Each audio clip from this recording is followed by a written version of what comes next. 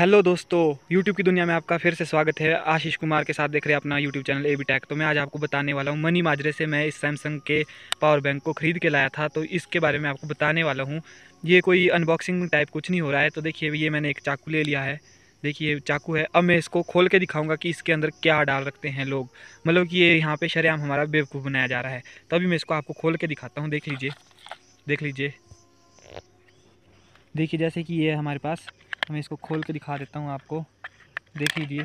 ये देखिए, इसके अंदर देख लीजिए, पूरा चार्जिंग मॉड्यूल तो लगा है, लेकिन उसके बाद देखिए, ये है बैटरी। सिर्फ़ 800 सौ की बैटरी है। देख लीजिए, जो हमारे नोकिया फ़ोन में लगा करती थी कभी, किसी वक्त। देखिए, उस बैटरी को इस सैमसंग के पावर बैंक में लगाया है, और इसकी प्राइस जो इसका रेट था, जो हमने दिया है, वो तीन हज़ार। मतलब कि तीन हज़ार में देख लीजिए, लोगों का किस प्रकार बेवकूफ़ बनाया जा रहा है। देख लीजिए, ये मिट्टी है इसमें, देख लीजिए। इस प्रकार की एक मिट्टी का इसके भार बढ़ाने के लिए, और देख लीजिए, इसके बाद देखिए, ये आपका चार्जिंग मॉड्यूल देखिए।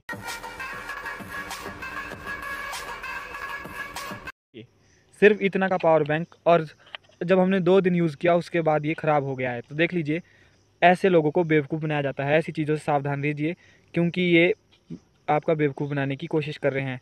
तो ऐसी चीज़ों को कतई मत खरीदिए लेना है तो किसी बेस्ट स्टोर से लीजिए। ये तो, तो हमारे को रहा चलते लोगों ने दे दिया था। तो देख लीजिए तीन हज़ार रुपये देखिए यहाँ पे तीन हज़ार रुपये हमारे कवर हो जाते हैं। तो दोस्तों इनसे सावधान रही आज की वीडियो में इतना ही। Thanks for